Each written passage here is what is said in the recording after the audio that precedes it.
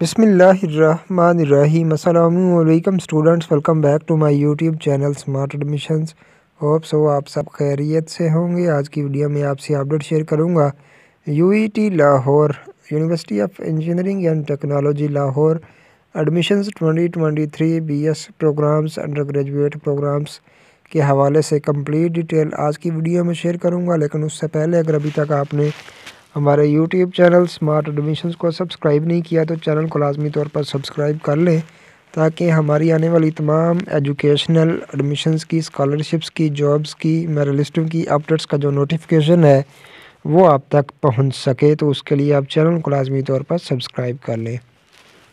Students university of engineering and technology Lahore एक अच्छी ranking रखने वाली एशियन यूनिवर्सिटीज़ की रैंकिंग में ये 183 नंबर पे है। और पाकिस्तान में ये अपनी एक नुमाया पोजीशन रखती है यूईटी लाहौर। एक इंजीनियरिंग की फ़ील्ड के लिए जो है, एक बहुत बड़ा नाम है इस यूनिवर्सिटी का। तो बहुत अच्छी रैंकिंग है। एच सी की तरफ़ से रिकोगनाइज है।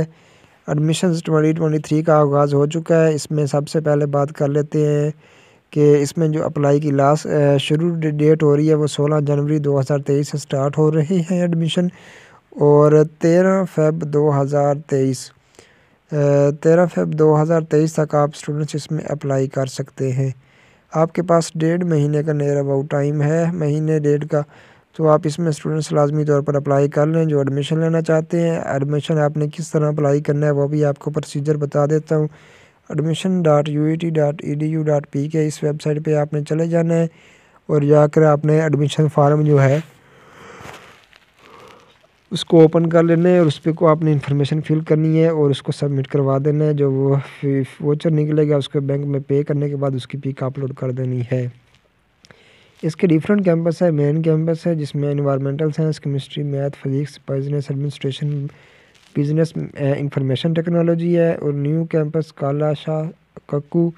इसमें energy system and management environmental science food science and technology chemistry math physics business administration Faisalabad campus में environmental science chemistry math business administration Narowal campus में स्टूडेंट्स इसमें मैथ फिजिक्स और business administration है। उसके अलावा Gujranwala campus जो है, इसका Rachna college of engineering and technology, Gujranwala, उसमें मैथ एंड बिज़नेस एडमिनिस्ट्रेशन के प्रोग्राम्स पे एडमिशन ओपन है।